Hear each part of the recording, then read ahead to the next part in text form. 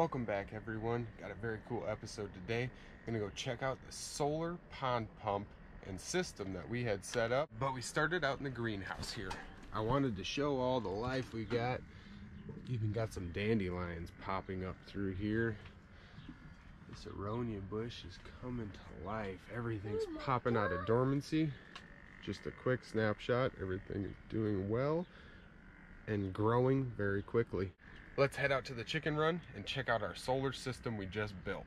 Outside the greenhouse here, we've got a bunch of strawberries coming up. Got some chicory, strawberries over there.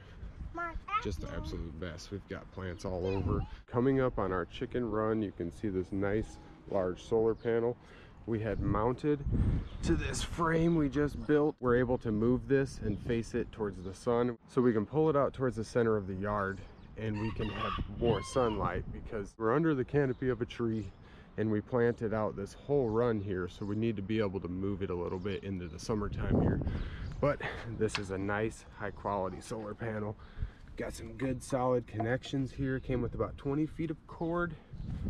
Follow this to a nice little solar hut we made.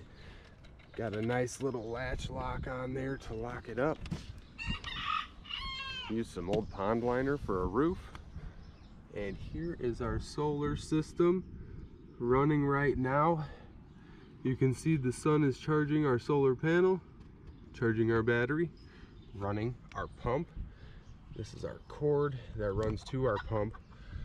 This is the pump we have submersed I will drop the link to this kit in the description, so no worries about that. So on this system, we have ourselves a nice 12 volt battery. We have our cords running from our solar panel, and then we have our cord running to our pump.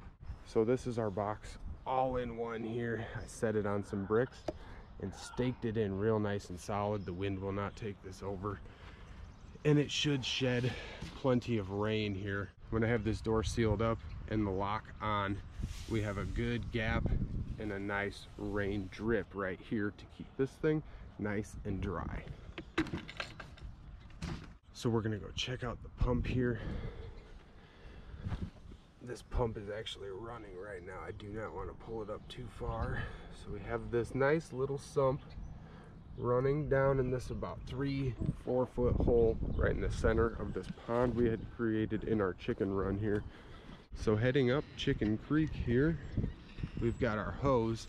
We are yet to bury it, but we have this little dam area we have to work with. So we'll be able to put some nice big rocks here and all that will be able to flow and we'll be able to blend this in naturally and nobody will be able to see this.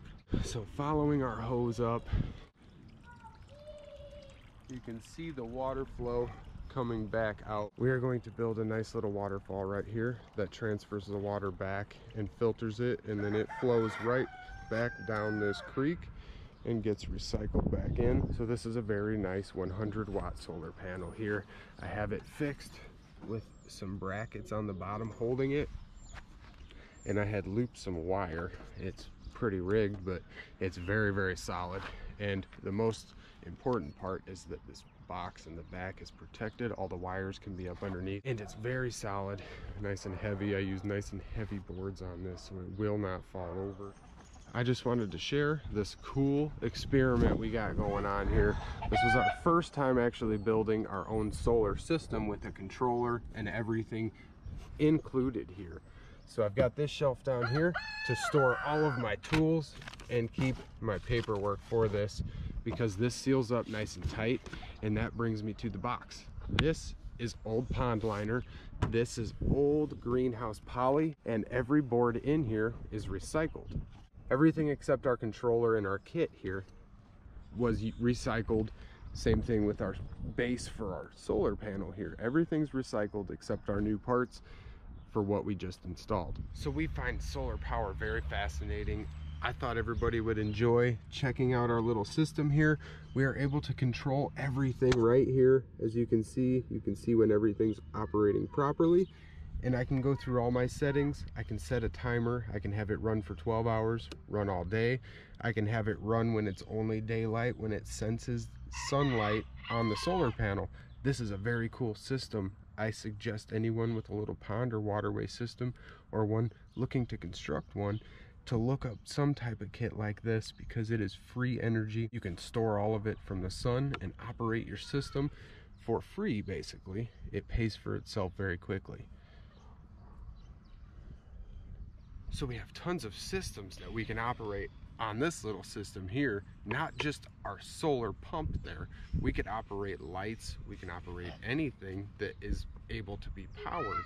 We may need an inverter if you go to an AC power source, but this pump we have is just DC, so we don't need an inverter.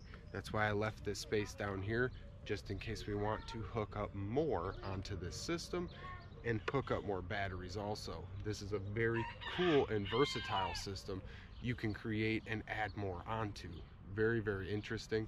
If anybody has any questions on setting all of this up, feel free to drop it in the comments. Thank you guys for watching.